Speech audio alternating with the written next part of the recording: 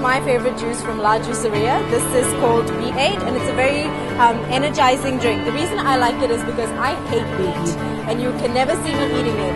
But this drink combines carrot, apple, lemon and ginger which really masks the taste of the beet. So you still get the nutrients from it. Perfect. And it tastes so good.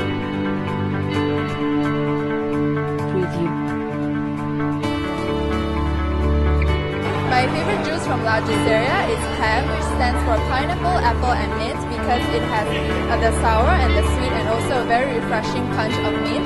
And I feel like it's the perfect pick-me-up during midday at work.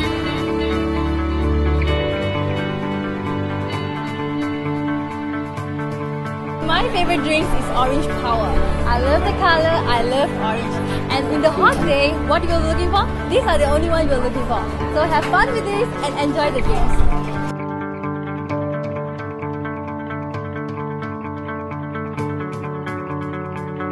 My favorite is definitely the espresso almond milk. I need my daily shot of coffee in the morning, and almond milk is extremely healthy.